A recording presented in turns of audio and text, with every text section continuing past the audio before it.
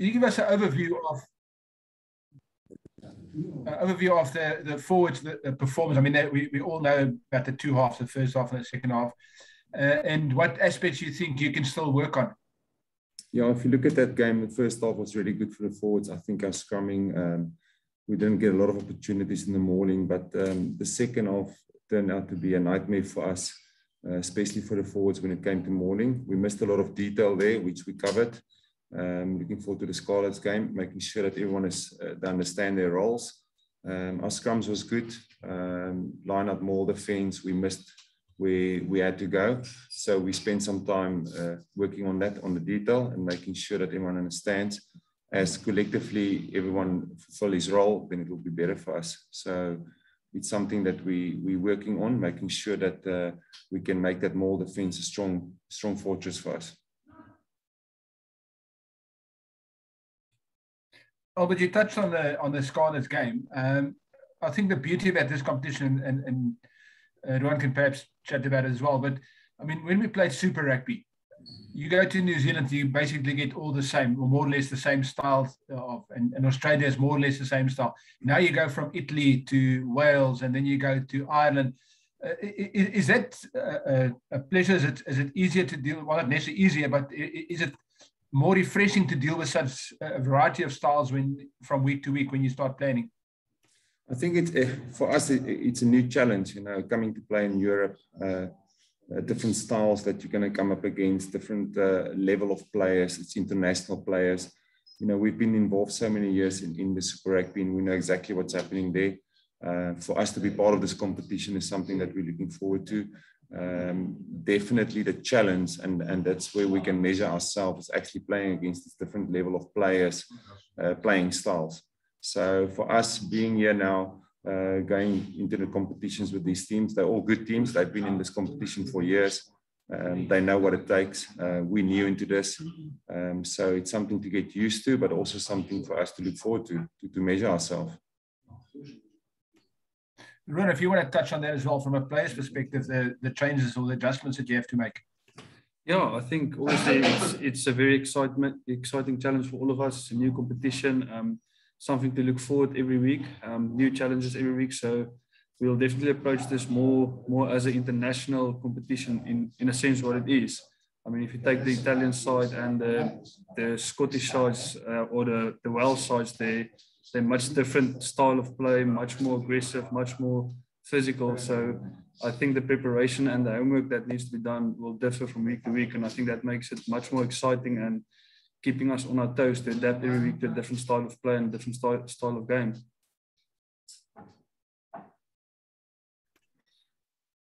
How's it, Albert? Yeah. How's it, Morgan?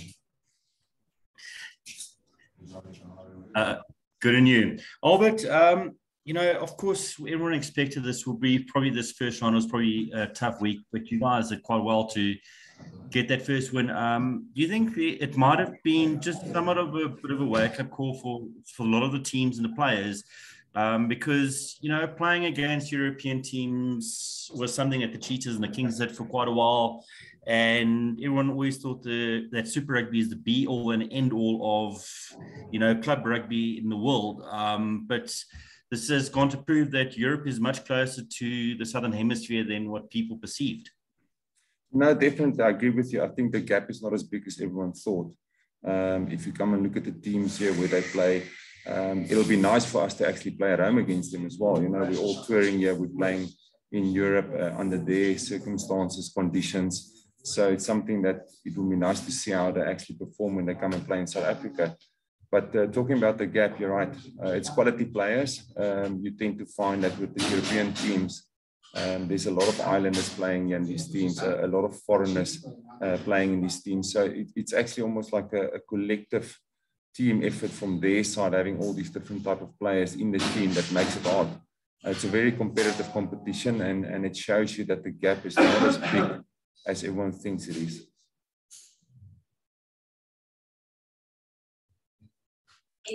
Hi, Albert. It's Morgan from, uh, well. Um, just to, to follow up on the Scarlets um, uh, question. Uh, I think, if I'm not mistaken, you'll be the first of the four teams now to face a Welsh team. What are you guys expecting from them uh, on Friday? Well, we analysed them. They've got a very good set piece attack, um, very good backline. The way they play, it's, there's a couple of Lions players in the team there. It's one of the teams that don't make a lot of uh, errors. So they're very well coached, uh, good, good quality players. Communication is good on the field. So for us, it's been clinical. Uh, we expect a physical battle out there. There's opportunities for us, but making sure that uh, if we want to take those opportunities, we all need to be on the same page and understand what we want to do. So it's a challenge that we're looking forward to. Uh, uh again, saying, you know, you played us all the different teams and, and each of them got their own attributes. So the Welsh team, very well coached. It's going to be a physical team. Their detail is, is on, on the knot. They know what they're doing. So from our side, we're also going to have to be uh, very smart and, and, making sure that everyone understands the detail. Um, and then uh, thank you for that. If I can ask uh, Ruan, um, you guys had a enjoyed a, a good set piece uh, against um, a Zebre, and there seems to be like a almost like a bomb squad type of thing, if I could put it that way, when it comes to the front rows. How's the competition between uh, the props going for that starting position? Oh, Morgan, uh, I think it's it's probably one of the best things you can have in a team is good competition and guys keeping each other on their toes. Um, we strive to make each other better and keep keep on challenging each other at training and when we analyze games and help each other. So I think a bit of healthy competition can only do us good. Um, but definitely, I think we are very privileged in the front rows at this stage. We we've got some good guys that can can challenge each other and yeah, we're looking forward to, to this weekend. It's definitely going to be a different challenge, um, but the, the hard work's going to going to continue, and yeah, hopefully we can can pull off another good one. Um, and just to continue on that thought, uh, in in training, are you um, have you become like a utility? Are you trading as a utility prop, if I can put it that way, on both sides, or are you sticking um, just to the one side of that? Yeah, well, we joke around. It's definitely team first. So yeah, when, when wherever they need me at this stage, um, I think I'll I'll be willing to to do my part. Um, but for now, I think I'll I'll cover loosehead most probably for for quite a while now. But if it if it happens, then I might move back to tighthead. So, but at this stage, I'm just enjoying it back at the Lions, um, enjoying it being fit, and just enjoying the new the new bunch of guys. It's, there's a very very exciting feeling in the team, and yeah, we're enjoying enjoying the URC at this stage. So, I'm just thankful for that at this stage. Uh, and my last question to Albert: Is there any injury update? Uh, no injuries from the weekend, uh, so we've got a healthy squad that we can select from, and a couple of guys actually returned from from niggles that they had that, that's available for selection. So uh, it's a nice uh, problem to have as a coach that when you've got all the guys available and, and to select from. So from our side, all good. Uh, sorry, Albert, who are those players who are returning? Uh, Stian, Stian is fully training with us now. So he's with us, uh, and then we've got obviously Jaco now that, that we're managing, but he's he's ready to go. He played his uh, 40 minutes and, and, he's available again. So Niggles out of the way. Thank you so much. Um, Ruan, Adam Morgan, yeah. Um, Ruan, uh, you guys played against a team this weekend that was very um, Azzurri heavy. Um, and this weekend, you guys are going to have a very Welsh heavy team. Or, you know, Scarlets is one of the team that produces more Welsh players. Um, is this something that you guys spoke about in the fact that there would be a couple of Lions against you? Yeah, um, definitely. Like we said previously, it's a it's it's a different country, it's a different mindset, it's a different approach to a new game. Um, so obviously there's new challenges, and that's why we put in the hard work this week and make sure we're ready for them and and approach them how we feel would be necessary at this stage. Um, Albert, it's Khanyiso here from Sport 24. Good morning, guys, and congratulations on the performance on Saturday. Um, Jake, you, you, mentioned the issue of, of, gaps. Um, and Jake White in his post-match presser after the defeat against uh, Leinster, he mentioned the salary gap. Um, I just want I'd like to find out now how does now that um, force coaches or force the South African rugby fraternity in particular to um, be even better from a coaching perspective because it's clear that you won't be able to compete with the European teams financially, and that's just because of the exchange rate. Yeah, it's a tough one. You know, at the end of the day, everyone must make it work according to their budget. And um, sometimes, in my opinion, this is just my opinion, uh, when we buy players or sign players, we can't go lateral. Sometimes you, you know, having a squad of 40 players, you actually want the, the 40 best players. But sometimes when you buy with your budget, you can only afford a, a certain amount of players within that budget. So to get the exceptional players, it's going to, you know, you have to break the bank to get there. So it is a difficult one for, for South African teams to compete against the exchange rate, but it's something that we have to work within and make sure that uh, the, the, guys that we do get in our team, you know, is, is competitive with those guys. And I think uh, it's more of a team effort than, than actually the individuals. So for us, it's all about the team, making sure that the guys that's in the team, in the squad, that we can work together and work hard. Um, so the budget is one problem, but the, the thing for us is making sure that the guys that we do have, like the Bulls, Sharks, uh, Stormers, and us, is making sure that that squad effort is actually worth more than actually what the budget means. Mm. And you also feel that this particular tournament, that being the URC, it will sharpen the players' rugby education even more. Not that to say that um, Super Rugby wasn't a very good finishing school. It was an excellent one in so many ways. But you feel that um, URC, especially with what you've raised, that a number of these teams have a lot of um, quality test players within their ranks? You feel that this now will sharpen a lot, uh, the players' rugby education? Yeah, definitely. Uh, if you go look back at Super Rugby, you know, we know the New Zealand teams, we know the Australian teams. Now suddenly we're playing against Italy, Italy Wales, Scotland, uh, Irish teams. So it's a different uh, attribute that they bring towards the field.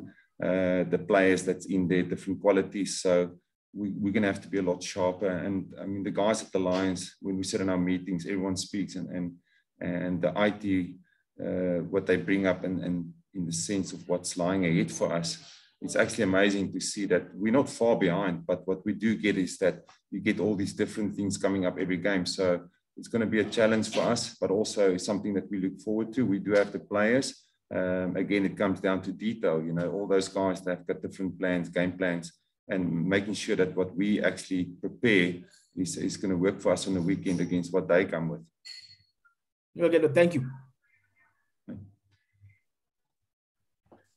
Albert. Goeiedag sê Albert um, en Roan, en Percival Young van Enis hier.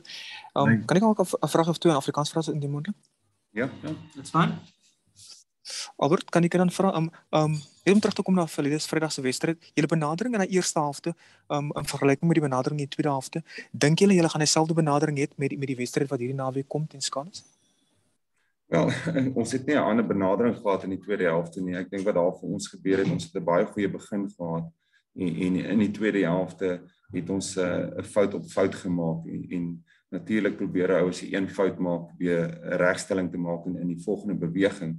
So ons wil oomblik vir oomblik speel en ehm um, in die in die ander kant in die boks eh uh, coaches boks het ons gesê miskien was die tweede helfte 'n blessing vir ons in die sin van ehm um, dit dalk te goed gegaan in die eerste helfte en dan is daar areas waar ons kan werk in die tweede helfte so ons benadering gaan wees ons wil graag detail almal seker maak almal het die detail en dan van die begin af regdeur speel vir 80 minute so ons wil nie 'n span wees wat vir twee helfte speel nie uh, ons het geleer daaruit ons het ons het gesien dat uh, die voordele daaruit wat gebeur het wel in die tweede helfte vir ons het sekere areas vir ons uitgelig waar ons kan werk. Ons wou nie weggeloop het van daai eerste wedstryd uh sien nou met 'n 60 punte wen en en gedink het alles is reg nie. So dit was 'n goeie begin vir ons. Ehm um, maar dit is ook vir ons uh laat besef dat ons moet teruggaan in in sekere areas aan werk as ons vorentoe wil gaan in hierdie kompetisie. Ronald as ons hier ook verander Ron, hoe dink jy hoe gaan die hoe, hoe gaan hoe gaan die fisiese deel van die wedstryd wees hier na week 10 hy Wallis se span skaal dit mee? Ja, nee, natuurlik dit is ehm um, dis dis dis Wallis. Ehm um, ek dink hulle voorspelers is is in dit om te fight. Ek dink hulle is heeltemal 'n ander ander approach as wat ons teen die Italiaanse gaan kry wat baie emosioneel is en ook hard uitkom vir sekere tye van die van die wedstryd, maar ek dink hulle gaan hulle hou van skram, hulle hou definitief van mol. So ek dink dit gaan baie fisies voorwees en ons gaan nie kan ons gaan net vir 'n gedeelte van die wedstryd kan werk en dan dink dinge gaan self gebeur en dis dis iets waar ons heeltyd in die fight gaan met bly. Ons moet skram, ons moet vir 20 25 sekondes skram, is dit wat ons moet gaan doen. As ons moet mol, ons moet moet aanhou mol vir 'n paar sekondes, is dit ons moet gaan doen want hulle gaan definitief nie uit die kompetisie uittrek en uit die kontes dit gaan dit gaan definitief 'n arm geveg wees en die een wat die langste in gaan bly, hopelik kry die kry die resultate die einde van die dag. Dit is net 'n laaste vraag maar vra. Sê gou van nou julle gepraat van baie Suid-Afrikaanse Suid-Afrikaners in hierdie in hierdie URC spanne is. Is dit 'n voordeel of 'n nadeel vir julle? Van dit klink my asof baie van die manne uh, van die Suid-Afrikaners wat in die um, spanne is reeds bietjie agtergrond van Suid-Afrikaanse spanne het en dalk hulle nuwe spanne dalk kan inlig hoe om voor te berei vir julle Suid-Afrikaanse spanne.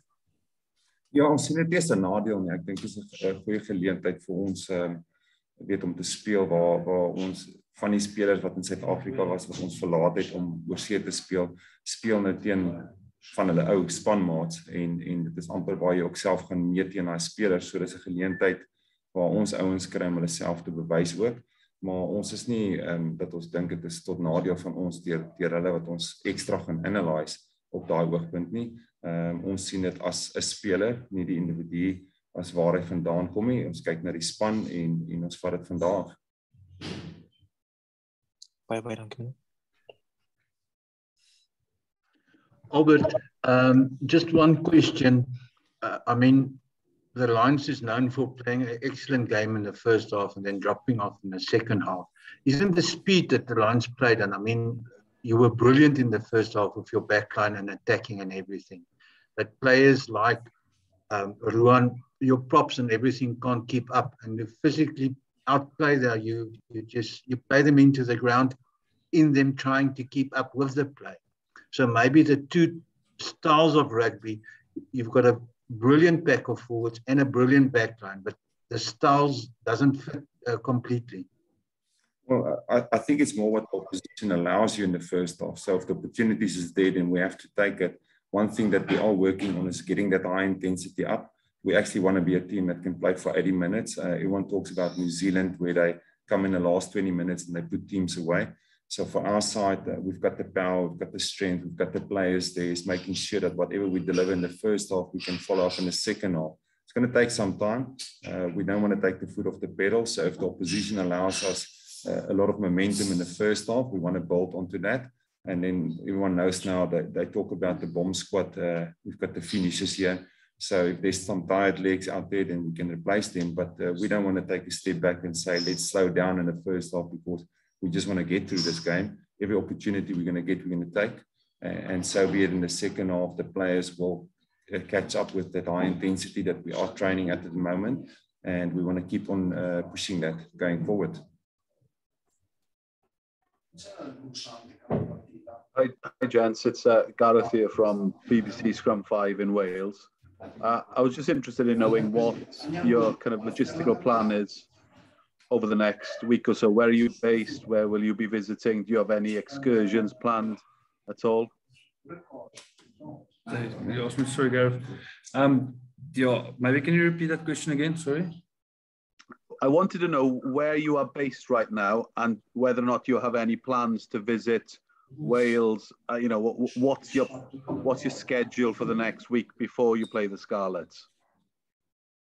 Yeah. Hi, Gareth. Just from my side, yeah, um, we're in Italy at the moment due to the URC um, um, competition format rules. You know, we have to be uh, for 10 days based in, in a country. Uh, COVID plays a big role, so excursions and all those things is actually, uh, we're putting it on, on, on the back foot for now uh, due to all the rules of COVID, making sure that everyone is safe. Um, we want to carry on being in a safe position for us. So staying in a hotel, just going to the gym and, and the, the training field. That's sort of our excursions that we've got. Go and show the guys the rugby fields that yeah, uh, where we train. But uh, you know, due to the rules of this competition, uh, we, we want to play it safe and make sure everyone stays safe um, during this time. So we're in Italy at the moment. Tomorrow we're going to leave for Swansea. We will arrive, arrive there tomorrow afternoon. And then obviously it's the same protocols for us being in a hotel, uh, just the rugby field and, and the gym um, I think it's very important that everyone adhere to the rules and, and, and, stick to it. So that's the, the hand we've been dealt with during this COVID, and we make sure everyone is safe. How's that for you as players, Ruan? Yeah, well, obviously it's not it's not like we used to with super happy tours where you can go out and see places and go sightseeing and enjoy a cup of coffee in a coffee shop every now and then but obviously we're just so privileged to play in this competition and we're just so so desperate to get out in the field so anything necessary to make this work and and make this competition good for all of us in the future um, we'll stick it out for now, and hopefully pretty soon we will be allowed to go out and see places and just in, enjoy the outdoors a bit more in the new places that we get to see as rugby players. So we still all very very privileged to be here and to play this game in this new competition. So yeah, like Coach Albert said, this is the hand we've been dealt with, and we'll keep it that for the best as possible for now, and then hopefully in the future we, it might change and we will we will benefit from it. Well, I've got some good news for you. Um, apparently, according to TripAdvisor, Ellis Park is the 41st best thing to see in Johannesburg. Parc y Scarlets is the seventh best attraction in Llanelli. So you're getting to see somewhere that's in the top 10 anyway. no, oh, beautiful. Thank you. good luck. Good luck at the weekend uh, Thank to you all. Thank, Thank you, you, sir. Thanks, Gareth. Uh, any more questions, guys? Yeah, I've just got one last question for Albert, please. That's fine, Morgan. Um, guys need to go to lunch, but we'll take one more. Sure. Albert, uh, what are, uh, as part of this new uh, coaching structure uh, at the Lions, what are your objectives uh, for the um, for the forwards and stuff in the coming weeks? Um, what are you looking to to to achieve with the team? Yeah, we've got a very strong forward back. Uh, my objective is, is just clarification. You know, um, we, we touched on it earlier defensively on our maul stoppage we've got a very strong pack. No reason for us to concede a maul try. If the detail is, is on par and everyone knows what to do, then uh, we should be a lot better there. Um, we want to build on the strong forward pack. We've got really good players, exciting players, uh, making sure that we become a force to reckon with in, in the forwards, uh, not only in the scrums and the mauls, but the way we play on the field as well we spoke about this high intensity, um, you know, want, want to lift the level. And that's something that the players are capable of. It's just going to take a, a, couple of weeks for them to get used, more used to it, so that we can go for longer uh, with that same intensity. So my objective is, is, is to make the players the best we can make them, to give them the opportunity to express themselves on the field. So we'll make sure that we prepare them well, train under, under tough conditions, and in the games when it comes out they can actually express their, their skill level and, and enjoy it.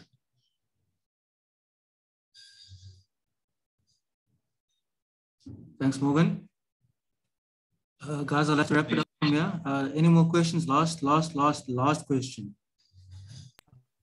All good Masha. thank you. Happy? Thank you so much. Thanks guys. We'll see you Thank you very much, guys. Thank, Thank you. Cheers. Cheers. Cheers. Good luck.